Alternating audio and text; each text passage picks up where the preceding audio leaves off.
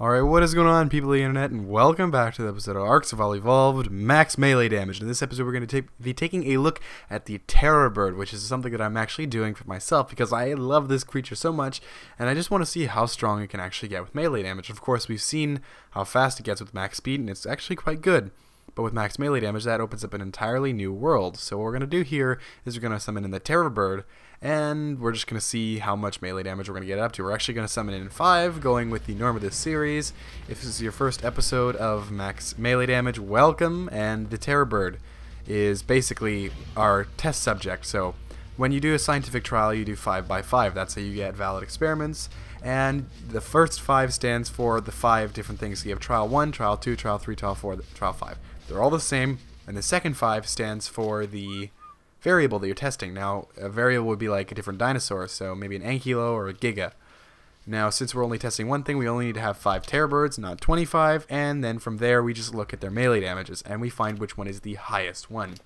That gives you a figure of about what you're going to be looking at if you were to max out your melee damage on your Terror Bird, and I believe that the highest one we get right here is 275%. There around. So this one is right here, the one that we're going to be sticking with. That is 272%, I think. My preview window is a bit small, but uh, yeah. We're going to be taking this one out. We're going to be maxing out its melee damage, and it's going to die, sadly. But it put up a really good fight, and it still it still reigns as my favorite creature. So, the Terror Bird is, of course, a wonderful creature to Ark. It, is basically like if the Dodorex had a baby, and the baby could fly. Too bad it can't breathe fire. Maybe that's a mod that'll be added in the future. I'm not going to hold my breath for it, but I really hope that it could happen because that would be fantastic. But uh, yeah, we're going to summon in another five and then take for the best one from that pile again, and it does have more damage than this one does, actually. It has over 300% stock, so we're going to be seeing a very good increase, which is nice. It's, it's a good thing to see. So, Right now, I'm just going to be taking the Terror Bird and moving it around and seeing what it can kill and how it fares against different enemies. So, the Gallimimus is actually quicker than it. That's not much of a shock. The Gallimimus was added into the game for the purpose of movement. I mean, it's a three-person saddle, so it, it's supposed to fit a lot of people and transport people from one side of the map to the other because, I mean, an Argentavis has one-person saddle. You can carry another person by your talons. A Quetzal, you can build a platform saddle and have other people transported that way. But for the most part, it's the only multi-person saddle that is in, added in for the purpose of just without added anything onto it, like a bench or anything, or a platform. It is the only multi-purpose saddle in the entire game, so it is of course used for movement, and that's not much of a shocker that it can run away from the Terror Bird. One thing it can't do, however, is save yourself if you fall off of a mountain, because that's probably one of my favorite things about the Terror Bird. It's a really a no-pressure approach. If you get into a bad situation, aim for the nearest cliff and jump because you don't have to worry about killing yourself. Normally you couldn't kill yourself anyway. You only take about 70% damage at max. But the Terror Bird is even better for it because you can save yourself from taking any damage and just get ready for the next fight. Which is just absolutely phenomenal. So, as you can see here, we're venturing around. We're going to come across an Alpha Raptor, which is going to make for a very interesting target. You can see right here. And I figured, you know, I didn't spawn this one in, so it gives you a very good simulation of what random level you might be coming across. And I believe this Terror Bird, yeah, it is max damage. So you'll see here, should you spec only into melee damage, this is what you're going to be looking at probably getting. So here we go. We're going to add the, oh no, it wasn't actually, now it is. It, it will be ready for the fight with the Alpha Raptor. Okay, so can I make the case for doing a max melee damage build on this? No, I honestly wouldn't. It's got 2,000 health, which is nice. It's certainly a shield. It'll let you take a couple hits from pretty much any enemy in the game. Uh, an Alpha Rex, a Giga, Alpha Raptors, Alpha Carnos, probably even a Dodorex.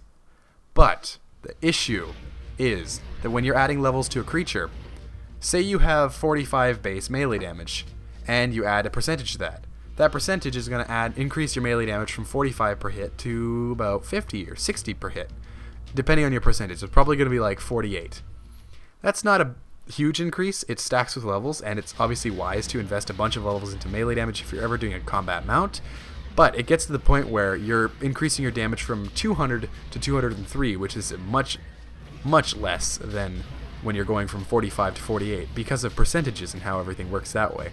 So when you get to that point, it's probably better off investing back into health where you're going to be getting those higher percentages and it's going to make for an overall better combat mount. So a max melee build doesn't really make a lot of sense but it's wise to invest a lot of points into melee damage. I'd probably, on my own, get it up to maybe 400 or 450, spec health to maybe 3 or 4,000, and then from there go with movement speed, because personally I would ride this thing around a lot.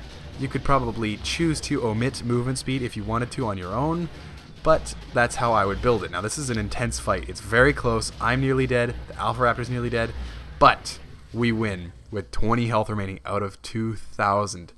That's fantastic. And the saber teeth have got actually gotten caught on each other. Now you think that oh yeah I've made it out of the situation alive, but uh, the saber teeth managed to run off and hunt something down uh, somewhere else, and in reality they're just looping around to come get me, which is seemingly smart AI, which is pretty cool. I mean the saber teeth have always appeared to be smarter for me. The first time I ever ran into one, it was in a forest and it sort of jumped me. So damn saber teeth killed my bird, so I'm gonna use a kill command on them. So that's a thing. But we're gonna summon in some more, and you're gonna see a much higher melee damage of of the Terror Bird. I mean, we got 275 with this one. We're gonna get over 300% with the next one, which is fantastic. And then we're gonna take that up against Bronto and do the testing as we usually do. Now, I've decided to make the executive decision to cut the two times a day. I, I really wanted to see what it would be like, and I wanted to make it kind of an event. And I really I did it for everybody who was watching and I, I had a lot of fun with it. I thought it was pretty good. We did two days of two times a day, and it was a pretty good amount of work, and it was kind of stressful and a little bit tough. But there are two reasons that I want to move it down to one a day. I'm not going to move back to two or one every two days just yet because I want to stay kind of faithful to the event. I mean, I said that I was going to do two a day. If I can't manage that, I'm going to go to one a day.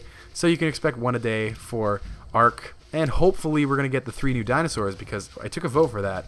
And it looks like at the moment the woolly rhino is second, and the Dunkleosteus is in first, which is awesome because I really want to see the Dunkleosteus. I've it's been a personal favorite of mine, so yeah. But uh, moving back to one a day because of two reasons. The first one is because I've been watching how many people actually watch the video, and I've noticed that there's been a pretty significant drop off. And if people aren't going to come over for the second video, then I don't think it's very worthwhile to put it out because I want to make it so that people can enjoy the video and watch it on their own time. And if I'm uploading two videos a day, that I feel like that burns people out, and it, it, they kind of put it off and say, you know, I'm not going to watch the second one. I already watched the first one. I need a little bit of a break, and that's completely fine. It's it's absolutely fine, and that's that's yeah.